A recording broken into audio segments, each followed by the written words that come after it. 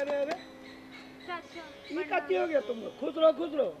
का तुम्हारा पैर खराब हो गया? मुँह चुचा गया का नहीं चाचा वो मेरे छोटका वाला मामा जो है ना। वो जो इलाहाबाद में रहते हैं? हाँ। हाँ तो?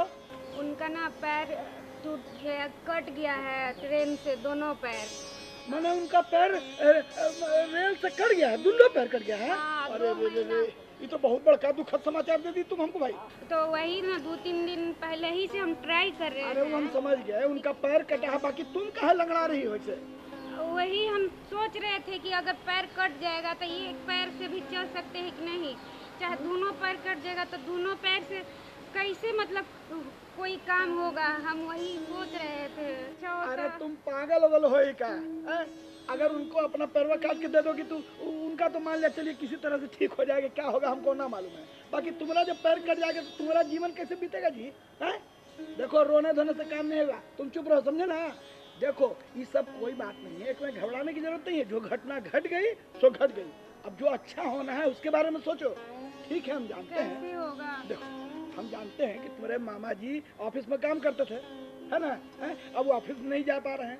आप अपना जीवन का सारा काम भी उठी से नहीं कर, जब पैरवे कट गया तो कैसे करेंगे ठीक? दुखी तो सब होगा ही लेकिन इस दुख के माहौल में भी हमारा पास एक खुशखबरी है। उनको दुख पड़ा हुआ है खुशखबरी आपको है क्या है? अरे देखो देखो अब अब तुम्हारा आँसू देख के हमारा भी मन थोड़ा दुखित हो गया है। बाकी खुशखबरी तो बताना पड़ेगा ना है? तो खुशखबरी ये है कि तुम्हारा मामा को अगर पैर नया लग जाए तो ये क्या बोले? हाँ। नया पैर लग अरे हाँ भाई कृत्रिम यह अंग जो होता है ना जिसमें नकली पैर लगाने का भी प्रावधान है। बहुत सारा उपाय है इसमें। वो कैसे? अरे देखो जैसे किसी का पैर कट गया किसी का हाथ कट गया या कोई भी दुर्घटना में कोई अंग कट जाता है ना तो डॉक्टर सब ऐसा उपाय किया है वैज्ञानिक लोग कि वो सब सबको नकली पैर और हाथ लगा देता है। तो जैसे पुराना जीवन जीता था ना वैसे ही नया जीवन जीते जिए जिए लगेगा चाचा हमको तो बहुत खुशी मिला लेकिन कैसे होगा कहाँ होगा?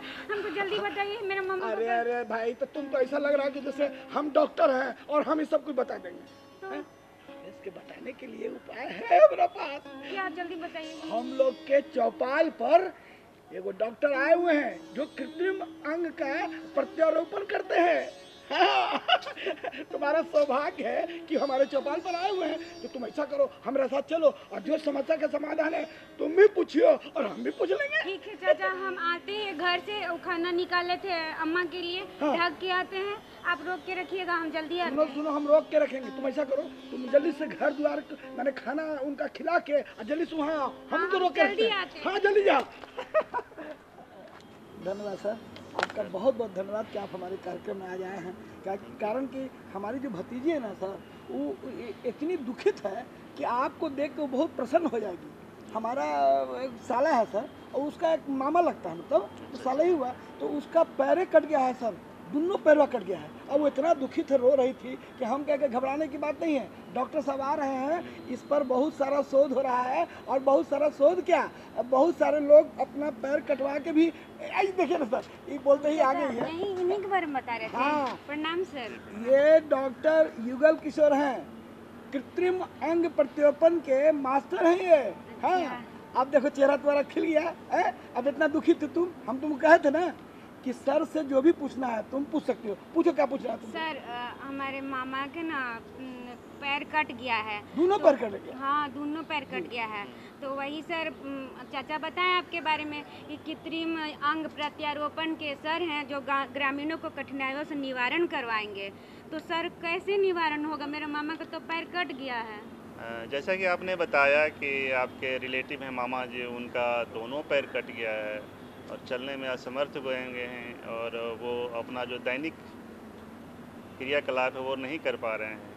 तो मैं आपको बता दूँ कि भारत में या बिहार में बहुत सारे ऐसे केंद्र हैं जहाँ पे आपके मामा जी का पैर लगाया जा सकता है और आपके मामा जी अपने दैनिक क्रियाकलाप उससे कर सकते हैं, यथा कि वो ऑफ़िस जाना हो या कुछ भी करना है तो वो अपनी क्रिया को कर सकते हैं और आप बिल्कुल निश्चिंत रहिए, वो चलेंगे अपना काम करेंगे सर तो वो कैसे संभव है? पॉसिबल है बिल्कुल पॉसिबल है। मामा जी वहाँ जाएँगे उनका मेज़रमेंट होगा। मेज़रमेंट ले करके उनका ट्रायल होता है। ट्रायल के बाद उनका गेट ट्रेनिंग दिया जाता है चलने के लिए। क्योंकि पैर कटने के बाद चलने का तरीका बदल जाता है। आर्टिफिशियल पैर के साथ चलने का पैटर्न बदल जाता है। तो उनको ट्रेनिंग दिया जाता है कि किस तरह से पहला स्टेप हम लें ताकि अच्छे से बैलेंस तरीके से चल सके। ये सर हमारे समझ में वो बात नहीं आ रहा है कि मान लिया कि पैर कट गया। या हाथ कट गया या कुछ कट गया कोई अंग कट गया तो मतलब कि उससे मैंने कृत्रिम अंग अगर लगा दिया जाए तो फिर कोई समस्या नहीं रहेगी सर। नहीं वो तो अंग काम करता है जो कृत्रिम अंग हम लगाते हैं हाँ। वो पैर का काम है चलना। जी जी। तो पैर जो आर्टिफिशियल भी लग जाता है तो उससे चलते हैं हम। अरे! आप निश्चित तौर पर चल पाएँगे उसमें मतलब उससे मैंने कोई भी काम में कोई दिक्कत नहीं कोई दिक्कत नहीं है। अच्छा मान लिया सर कि कोई खिलाड़ी है। जी। या कोई दौड़ दौड़ने वाला खिलाड़ी है तो मान लिया उसका पैर कट जाए तो वो कैसे क्या उसको भी वही अंग लगेगा। दौड़ने वाला पैर भी अब आता है उसको ब्लेड फुट के नाम से लोग कहते हैं। रनर फुट कहलाता है वो। अच्छा अब दौड़ने का भी पैर लगता है कार्बन फुट होता है वो। अब डिपेंड करता है मान लिया बिलो नहीं है घुटना से नीचे कटा है तो बिल्कुल दौड़ सकते हैं। अच्छा अच्छा अच्छा दौड़ने वाले प्रोफेशन जैसे रनर अगर हो तो रन कर सकते हैं कोई इशू नहीं है अच्छा अच्छा सर मान लिया कि कोई घटना घट गया। आ घटना घट गया और इस, इसका मामा का तो दो महीना पहले घटना घटा। अब तो कोई उस पर कोई जवाब नहीं है। लेकिन मान लिया सर कोई घटना तुरंत ही घटा। हम्म। और पैर अलग हो गया या उंगली अलग हो गया तो क्या हम उस उंगली को पैरवा को अगर लेके चला है तो क्या आप उसको जोड़ दीजिएगा?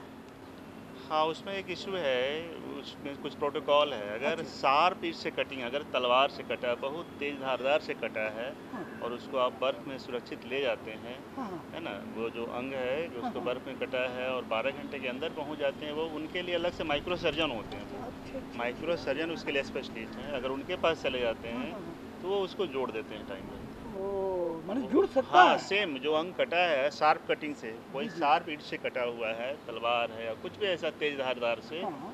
तो वो अंग को आप ले जाएँगे प्लास्टिक में बर्फ़ में रख करके हाँ, हाँ। तो वो जुड़ जाता है। अरे ये तो बहुत बड़का बात है सर। बहुत लेकिन मान लिया चलिए हमको जानकारी नहीं है तो हम तो कैसन को कटल का रहेगा तो आप आप लोग जैसे डॉक्टर हैं उनके पास लेके आएँगे उनको ताकि उसका लाभ ले सके वो। अच्छा सर एगो बात बताइए। कि मान लिया कि जोड़े वाला जो डॉक्टरी का पढ़ाई वढ़ाई है तो इसमें हमारे गाँव का लोग अगर इस सब विधा में जाए हम्म। तो उसके लिए क्या आप माने सजेशन देते हैं क्या विचार देते हैं? तो जी हम लोग जो प्रोफेशन है ये प्रोस्थेटिक्स एंड ऑर्थोटिक्स की पढ़ाई होती है। अच्छा, अच्छा, ठीक है ये इसकी पढ़ाई बड़े बड़ी यूनिवर्सिटियों में है। जैसे अपने यहाँ बिहार में तो नहीं कोई यूनिवर्सिटी है जो पढ़ाता है। हम लोगों ने अपनी पढ़ाई की है कलकत्ता यूनिवर्सिटी से। अच्छा। इसकी पढ़ाई दिल्ली यूनिवर्सिटी में है मुंबई में भी है बड़े बड़े शहरों में है। इसका पढ़ने के लिए कंपटीशन होता है पूरे नेशनल लेवल पे। अच्छा आप उस कंपटीशन में वहाँ के बच्चे भाग लेंगे। उनकी योग्यता होनी चाहिए कि वो इंटर जो है प्लस टू है बायोलॉजी के साथ उनका होना चाहिए जो एलिजिबिलिटी होती है। उस एलिजिबिलिटी के साथ वो परीक्षा में भाग लेंगे और बहुत ही कम फ़ी में बहुत ही कम पैसे में वहाँ एडमिशन होती है क्योंकि भारत सरकार का सारा इंस्टीट्यूशन है। अच्छा तो अच्छा। कम पैसे में वहाँ एडमिशन होती है पढ़ाई होती है तो कम खर्च में भी ग्रामीण बच्चे इस प्रोफेशन में आके देश की सेवा कर सकते हैं। बहुत बड़का बात है भैया है, चाचा हमारे मन में एक सवाल आ रहा है सर से हम पूछना चाहेंगे हाँ। कि जैसे कि आप बता रहे हैं कि पैर कट गया या हाथ गया कट गया तो ताज़ा है उसको फ्रिज में रख के जल्द से लाएँ और जुड़वा लें हाँ। तो वो कितना दिन में जुड़ेगा